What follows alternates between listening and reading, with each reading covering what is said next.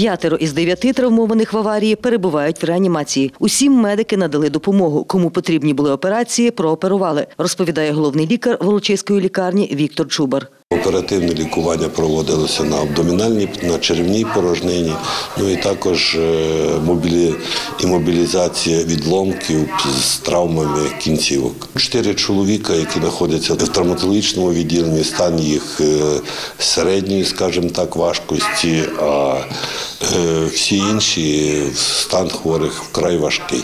За його словами, серед травмованих був семирічний хлопчик із переломом гомілки. Лікар каже, після обіду дитину доправили в дитяче спеціалізоване відділення Хмельницької обласної лікарні. Ми рахуємо, що більш ефективно і більш якісно буде лікування проведено в спеціалізованому відділенні, тому прийнято рішення відправити дитину на третій рівень в обласну дитячу лікарню. Із його слів, чи живі його батьки або родичі, з якими хлопчик їхав з Дніпра на захід напрямку Тернополя, наразі невідомо. Та розповідає, серед ушпиталених є люди без документів. Серед п'яти чоловік, які знаходяться в реанімації, два чоловіка це невідомі, це чоловік і жінка.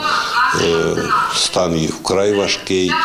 Е, Один із них чоловік оперований, е, там розрив селезінки була, велика кровотрата і ще плюс до того є черепно-мозгова травма. Восьмеро дорослих перебуватимуть в закладі не менше тижня, каже Віктор Чубар. Вони не можуть бути транспортовані десь на інші рівні.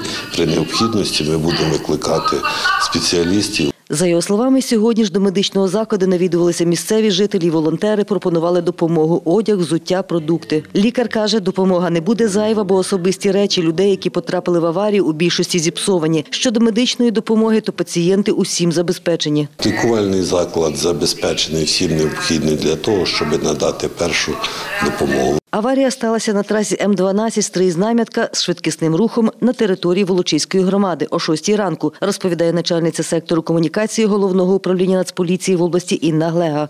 Поблизу села Лозова сталася дорожньо-транспортна пригода за участю двох автобусів, які рухалися назустріч один одному. За попередніми даними, у мікроавтобусі їхали переселенці, які рухалися у напрямку міста Тернопіль. За її словами, слідчі з'ясовують усі обставини дорожньо-транспортної пригоди, в якій загинуло семеро людей, водій та пасажири мікроавтобуса. Світлана Поробок, Іван Мовчан. Новини на Суспільному. Хмельниччина.